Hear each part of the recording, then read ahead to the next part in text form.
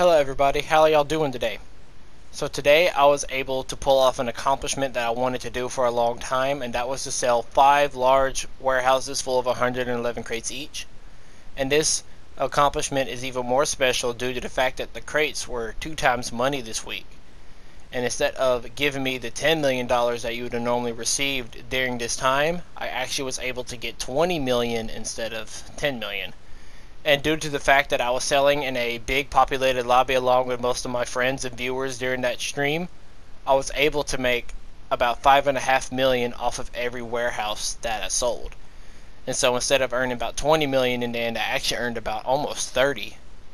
And that boosted me from about 21 mil to about 49 mil. And after the fact, I also sold my nightclub, which get got me to 50. And so I have a lot of people to credit for this journey because a lot of people helped me grind the crates over about the span of a month.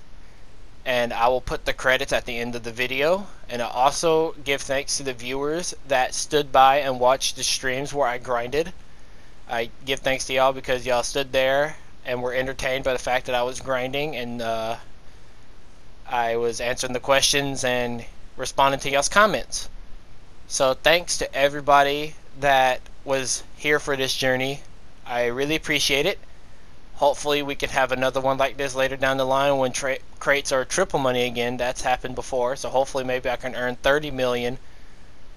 And uh, I will start grinding for more crates soon, and I will be going back to the normal grinding crates and doing MC businesses. And yeah, all credits are at the end of the video.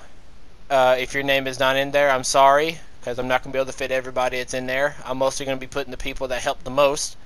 But just know if you were there helping me grind the crates or if you're in the stream watching me, I greatly appreciate it. And uh, I hope to see you guys later. Goodbye.